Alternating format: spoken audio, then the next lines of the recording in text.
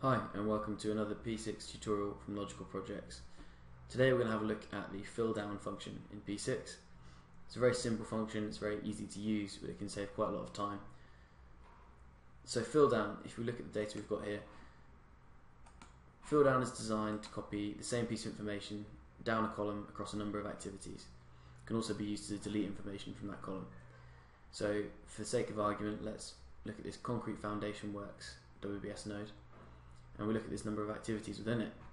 If I wanted to add a reporting code uh, so that I could perhaps report on this group of activities to a specific uh, stakeholder, I've inserted this reporting code column and I can either click through them individually and add this concrete foundation works reporting code or I can add them down here but if I don't want to work through all of these individual activities and whilst there might not be many here perhaps I have hundreds activities I need to code.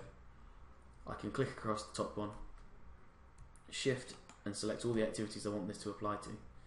Right click and select fill down and it will copy that information down the column without disrupting the information in the other columns. So if you look across these dates here are all exactly the same.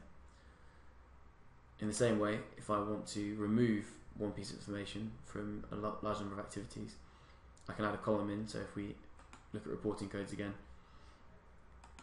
can remove the information from one cell in that column, resort it so that's at the top because fill down only copies downwards, it doesn't copy information upwards or across.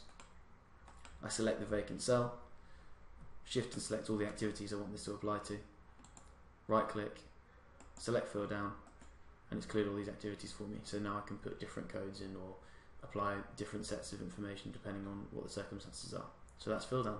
Thanks very much.